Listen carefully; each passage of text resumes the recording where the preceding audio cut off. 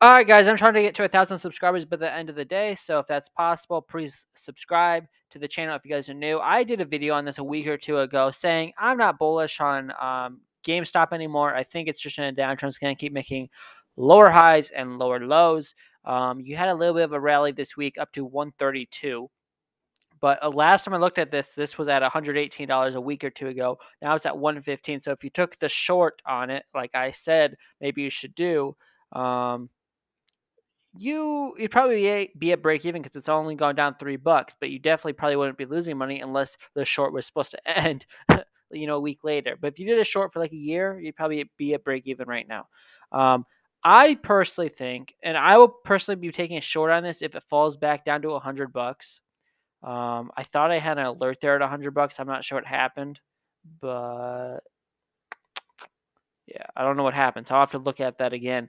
But if it goes below 100 bucks, I'd be interested in doing in buying uh, in shorting this. I should say, not buying it, um, because the chart just doesn't look good. It's in a major downtrend and just keeps making lower lows and lower highs. So I personally think probably in a year from today we're well below 50 bucks i you know that's just i think gamestop is a dying breed it had a short squeeze because i think everyone was thinking it's going to zero um, because everyone especially during COVID when it had that short squeeze, was like, well, no one's going to be buying going to the store to buy games. Everyone will do it online or on their Xbox because I know uh, in three or four years when I play Xbox, I haven't used a, a, a disc to play it with. I just do it from the downloaded games on the on the store. So that's what a lot of people were thinking. And then you got the short squeeze, and then now you're slowing going down. And I think this time it's actually going to oblivion. Now I guess if everyone thinks I could do another short squeeze, but personally, I think I just don't see it happening. Um, let's go to the RSI and see what that's looking like because when it does go below 30, it probably will get some sort of bounce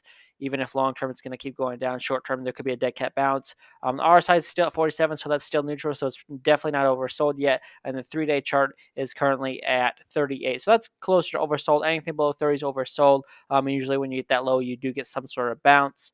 Um, but the chart doesn't look good. Um, the 12 hour chart, according to the Gann fans, is showing it's an uptrend, um, but we'll see how long that lasts. I'm not very, I'm not going to think that that's actually going to keep playing out. The target to the downside, I mean, you do have support right here at $100. $100. So if you lose that, like I said, I would be taking a short on that. And to the upside, if it were to keep going up, um, $150 is the target. I personally think you go lower, um, but you know, if you're if you like this if you like GameStop long term, then I guess 100 bucks would be a good time to get in. Um, but if you if you don't believe in it long term, if it loses 100 bucks support, I do think you come down all the way down to 60 bucks within a few, probably a few weeks. So with that being said, that's all I got. Usually I don't do videos on stocks, um, but GameStop is one that I think could be a great short play. But I guess we'll see. Um, it is risky, so none of this is financial advice. And please do your own research before buying or investing any coin or any any stock as well. I'll see you guys in the next update.